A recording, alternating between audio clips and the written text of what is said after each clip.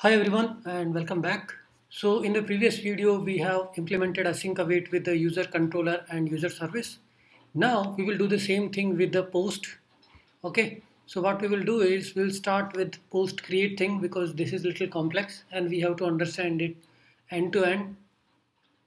So this is our post service where we are actually doing a lot of things you can see here and from the controller post controller from where we are doing a create okay.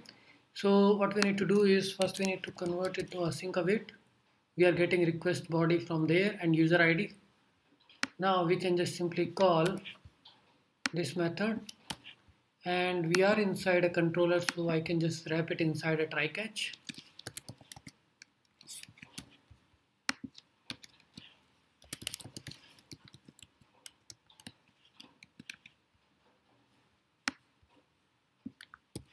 we'll handle and we'll respond to these errors later in the proper way. For now we are just sending 500 status code. So we are calling this method and we are awaiting for this to come response. Post service dot create. Okay now this should also be a async function.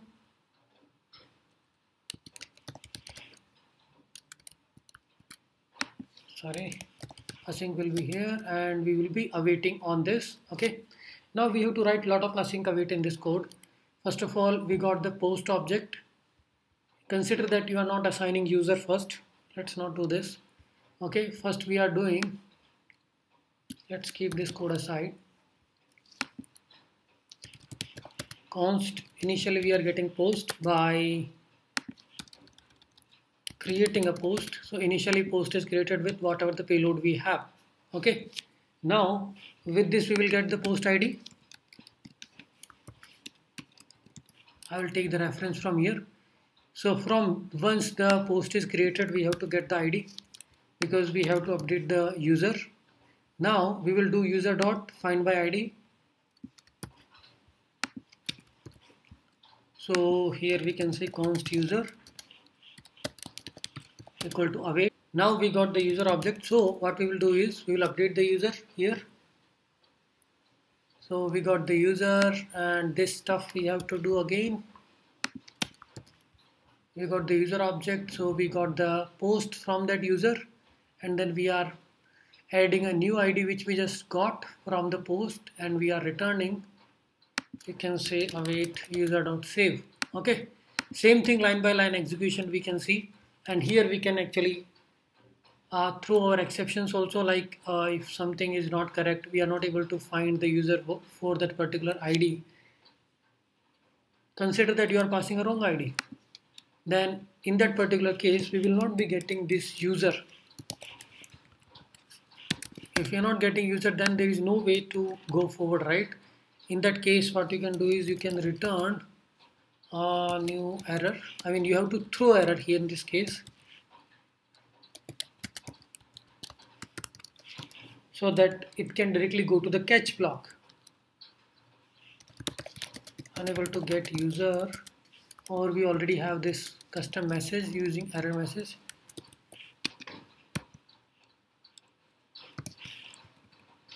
User not found right? So this will be thrown from here and it, we have to handle it at the controller level. If user is there we got the post we are assigning the post to the post and now we are saving it right but we also again need to update the post with the newly created user I mean user ID so again here we have to do that uh, let's see one by one. We created a post we got the ID ID we are pushing in the user instance. We got the user object. Now we are able to save the user. Okay.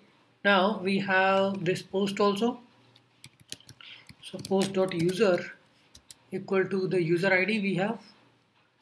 So find by id user id now we know that user id is correct one. Await uh, user post dot save. And here is our journey closing. We can return from here now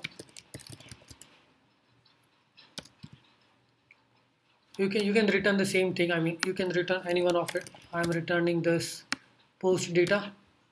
Okay now step by step this is fine. Whatever the exception coming back from here we are able to handle it at the controller level.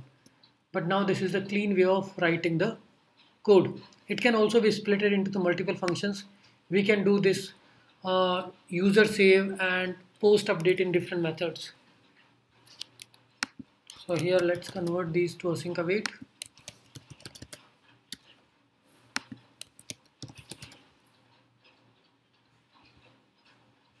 what error we are getting. It says in the line number duplicate declaration of post that is correct. We might be doing it. So we can say this is a new post. We are getting new post okay? From that new post we are assigning user and new post is only we are saving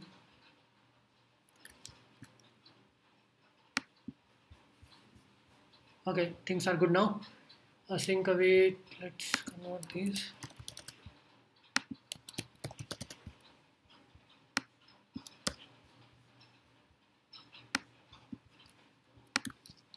Okay now we'll go to our controller and we'll change all these implementations. So same kind of transformation we need to do everywhere. Here we'll make it as async await find post by user. This method we have to call.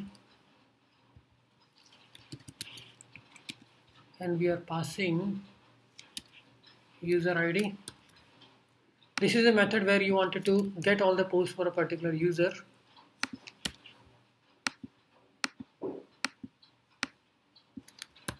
Now this is a find by ID method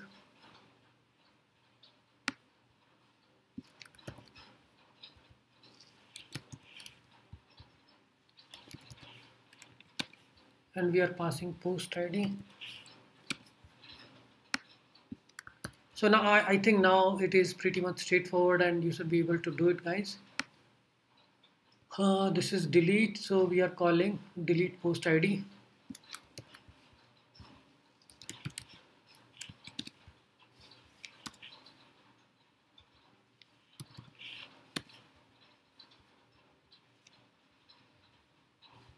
I hope we haven't written any unnecessary code. This is user ID we are getting post ID we are getting. This is user ID and the payload we are passing. Delete post ID we are passing and then update can be done the similar way. I will just convert into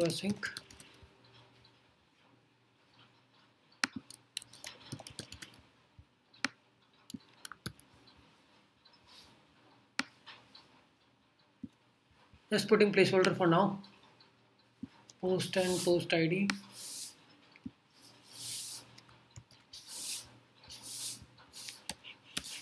so here we have to pass update and the post object. Yeah. So now this is also converted. So this is how we are able to achieve all the different methods let's see what error we are getting. Post controller line 19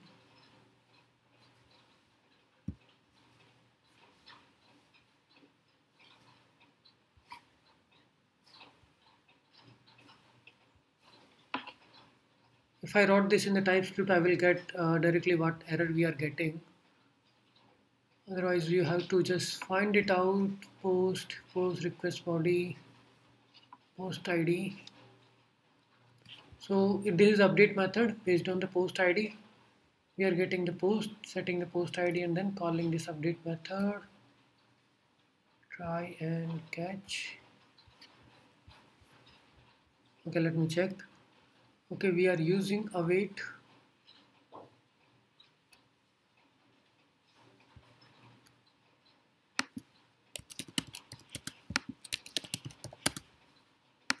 so you have to convert them into a async await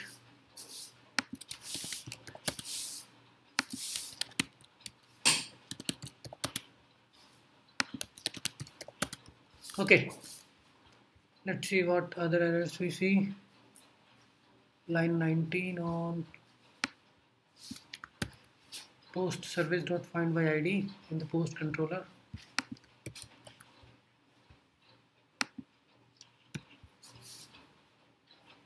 okay and uh, always remember we have to respond to our methods also. So we will be writing response dot status in the post controllers. So you can assign this to some data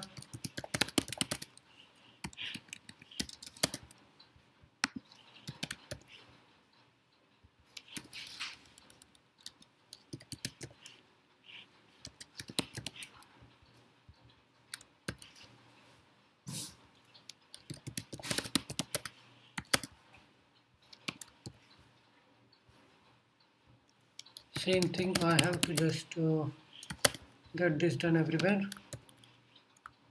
So I hope after this uh, session I think you would be comfortable in writing the REST APIs for whatever the collection you want.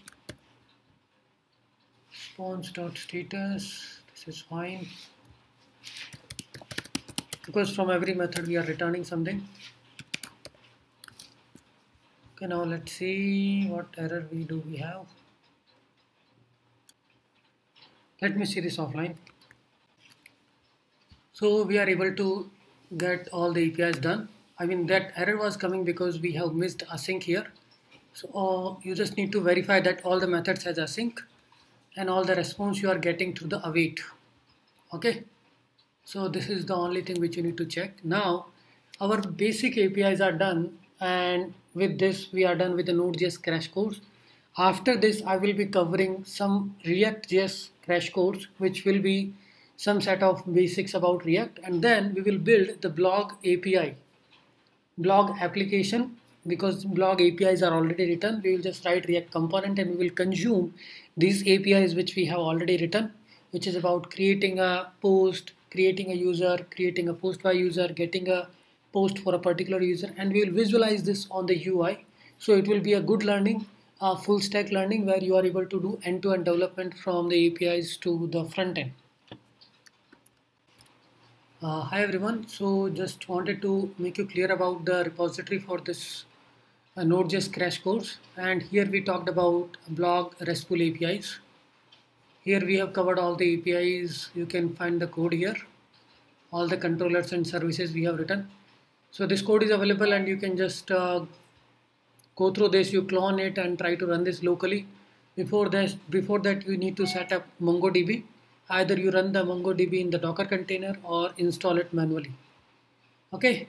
Now after this we are starting uh, react.js uh, this link i will also be adding that in the description of the videos. Okay.